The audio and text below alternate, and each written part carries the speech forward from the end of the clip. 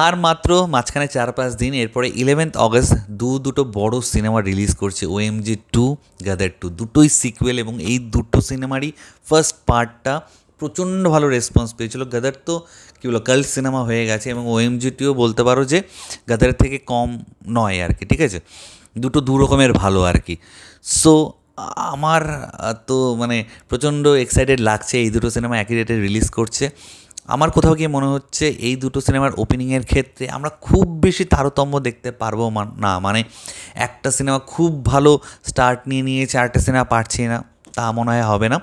Long রানে আমরা ডিফারেন্সটা বুঝতে পারব। কারণ দেখো গদার ট্যুর একটা অডিয়েন্স অলরেডি ক্রিয়েট হয়ে আছে। এটা একটা কার্ল সিনেমা এর একটা মানে কি বলব ফ্যান বেস অলরেডি আছে গদার সিনেমাটার সানি দেওয়ালের একটা ফ্যান বেস আছে। সানি দেওয়াল আমিষা প্যাটেল এবং আরও যারা যারা আছে, এর প্রত্যেকের কাজকে দেখার জন্য বড় পর্দা একবার হলো সকলে যাবে। এবং ওএমজি টুর ক্ষেত্রেও অক্ষয় কুমার নো ডাউট তার ফ্যান বেস নিয়ে আর নতুন করে বলার কিছু নেই। তবে পঙ্কজ ত্রিপাঠী ওটিটি প্ল্যাটফর্মে প্রচণ্ড পপুলার এবং এই জুটিটার কাজ এবং ওএমজি এক ধরনের কনসেপ্ট ছিল। এখানে ভগবানের কনসেপ্ট তো অবশ্যই আছে, কিন্তু হাটকে টাইপের কনসেপ্টে তারা সবসময় কন্টেন্টে তারা কাজ করেছে। ওএমজির ক্ষেত্রেও কন্টেন্টটা একদম ডিফারেন্ট ছিল, এক্ষেত্রেও ডিফারেন্ট আমরা দেখতে পাচ্ছি।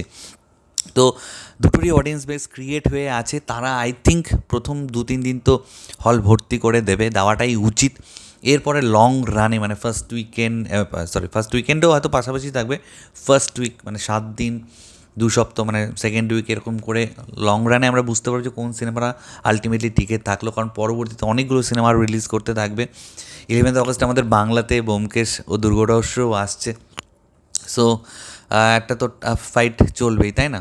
সেটা নিয়ে আমি আলাদা কোনো ভিডিও বানাবো। আপাতত এই দুটো সিনেমার মধ্যে কোন দুটো ওপেনিং নেবে সেটা নিয়েই কথা বলছি। আমার মনে হয় প্রথম উইকেন্ডে ফার্স্ট উইক কালেকশন তিন দুটো সিনেমারই ঠিকঠাক মানে পাশাপাশি থাকবে। খুব বেশি আপস অ্যান্ড ডাউনস থাকবে না মানে ডিফারেন্স থাকবে না, কিন্তু লং রানে একটা ডিফারেন্স দাঁড়াবে। তবে দেখো গাদার টুরও মানে ফ্লপ খাওয়ার একটা জায়গা আছে। মানে এটা যে বাজেটে তৈরি বা গাদারটা যে রেসপেক্টে বানানো হয়েছিল বা যা আমাদের মানে যে জায়গাটা দখল করে আছে তার থেকে যদি অনেকটা কমে যায় না মানে জাস্ট বানানোর জন্য একটা সিকুয়েল বানানো হয়েছে, এটা যদি কোথাও হয়, তাহলে কিন্তু সেটার ইম্প্যাক্ট এই সিনেমাটার কালেকশানে পড়বে, অবশ্যই পড়বে। যে তুমি জাস্ট নামকে বাঁচতে ওই নামটাকে ভাঙিয়ে খাওয়ানোর জন্য এই সিনেমাটা বানিয়েছো, ভেতরে কিছু নেই। এবং সাইড অ্যাক্টার যেখানে ডিরেক্টরের ছেলে মানে সানি দলের ছেলের ক্যারেক্টারটা যে করছে, তার ক্যারিয়ারকে বলতে পারো রিবুস্ট করে একটা চেষ্টা করা হচ্ছে। তো তার অভিনয় যদি বাজে হয়, সে যদি ঠিকমতো সমান্তলে অভিনয় না করতে পারে, সেটাও প্রচণ্ড চোখে লাগবে।